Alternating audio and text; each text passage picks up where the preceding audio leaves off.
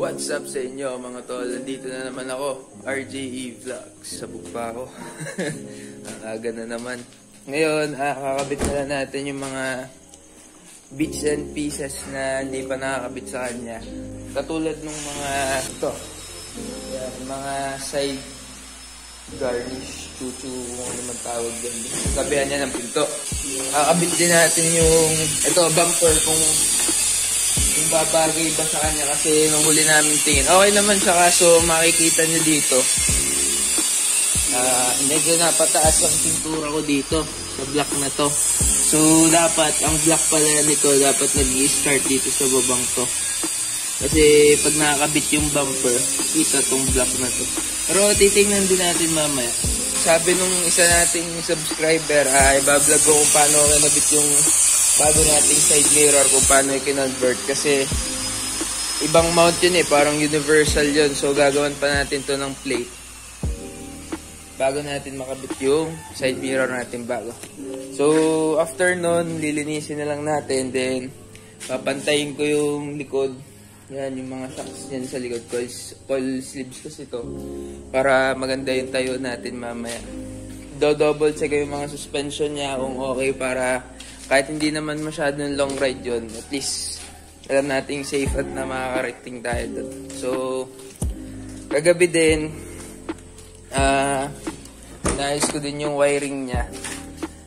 Dahil meron ditong, kung tawagin ay sa box na to, sa ECU na to, may ginagawang resistor mode. Resistor mode kasi sa higher range ng RPM niya, pag wala resistor, nag tayo resistor.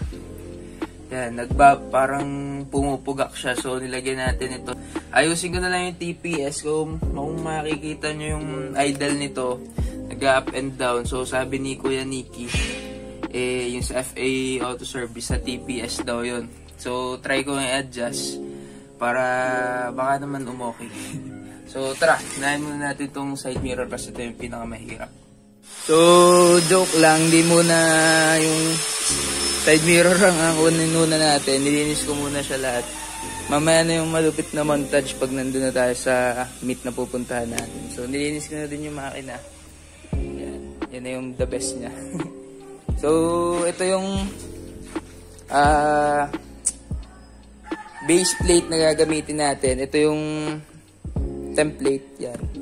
Bali ganito magiging itsura niya. Yan. Yan. Ganyan. So, kung sa stock nyo gagawin to, uh, meron kayong dadagdag na sukat yung dito kasi meron yung garnish dito. Then, ito, babawasan nyo ng konti at isasabay nyo dun sa mismong ito, basta yan. Kung ano man yan. Isasabay nyo kung anong sukat niya dito. So, yung akin, meron tayong Lexan. I-overlap lang natin siya para medyo malinis naman tingnan. So, cut natin. Ang gagamitin kong material dito ay ito. 1mm ata ito na sheet metal. So puto lang natin so ito yung plates na gagamitin natin. Paglet pa ito sa inyo. Bali yan ganyan. Tapos dyan kakabit yung side mirror natin. Pero pipinturahan muna natin. So yan napintahan na natin siya ng black. Ngayon naman eh may two choices kayo na pwede nyo gawin. So, yung first choice, yung gagawin ko, i-rivet ko dito. So, magiging part na siya nung pinto. Yung second choice naman, kung ayaw nyo magbuto sa pinto nyo, eh, gagawa kayo ng bracket nito, itong tatlong to, papunta dito sa plate na to. Pwedeng i-welding nyo, pwedeng bracket lang mismo na magbobolt dito. So, mas mahirap yon mas madali itong i-rivet. Pero, at least meron kayong yun, yung two choices na pwede. No? So, re-rivet ko lang to. Then, mas madali kung ikakabit nyo na yung side mirror dito bago nyo i-rivet. So, wala pa akong bolt. Eh, re-rivet ko muna. Mamaya ako na lang ikakabit. Then, bahala na mamaya. Paano ikabit. So, yan. Nakakabit na natin yung side mirror. Yan, sa malayo. F1 na. So, ito nagbigay lang ako ng idea. Nagbigay lang ako idea kung paano nyo may improve pa to. So ito, pangit pa to. So baka ulitin ko din to susunod. Pero ito, temporary muna ngayon. CF, CF muna tayo. So, mag-ayos lang ako ng gamit at sarili. Tapos punta na tayo dun. Winax ko nga pala to. May ulit punasan. so, nandito na tayo sa meet up sa hypermarket. Bale, ito yung mga kotse dito. Yan. Pupunta tayo sa TCCP. Sa mga iba pang naka-Toyota. So, na medyo nagka-issue tayo papunta dito kasi nilagyan ko ng Kapag wala tayong issue pero nilagyan ko nung mga resistor. Opo. Mga resistor biglang nag-iba-iba yung takbo. So, yung on the way na pinutol ko na lang ulit yung mga resistor eh okay na ulit. So, sana makarating tayo.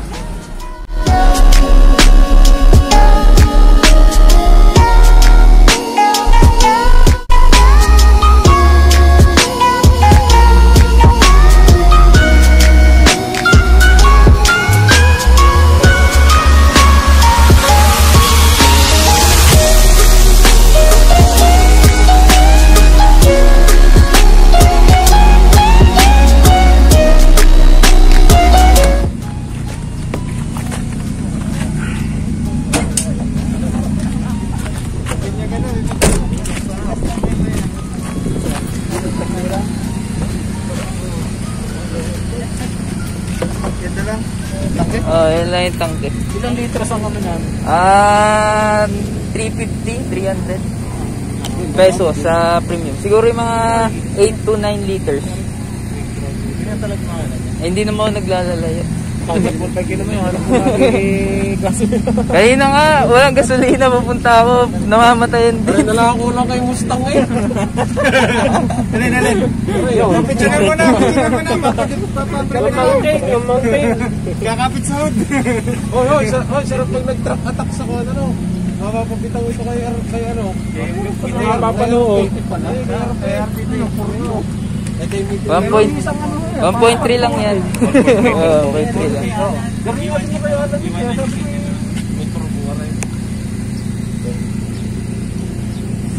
Pinilit ko lang mabuo, kaya medyo hindi pa maayos ang takbo. Hindi ba lang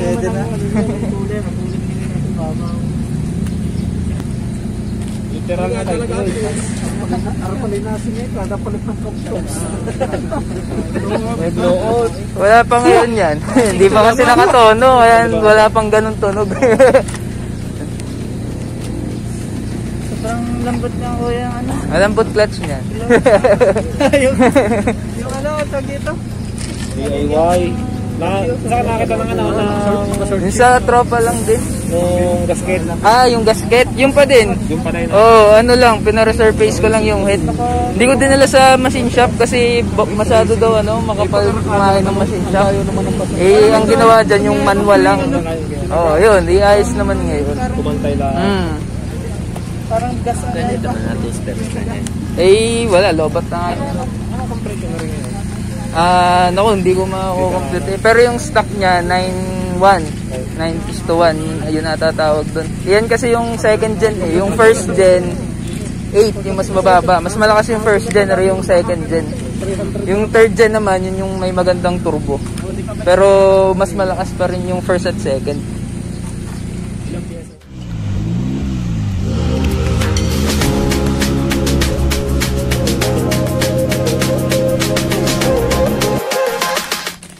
So, andito na kami. Tangin na. Yan, dyan sila rin ng kuya. Bababa tayo. Ah, ang init.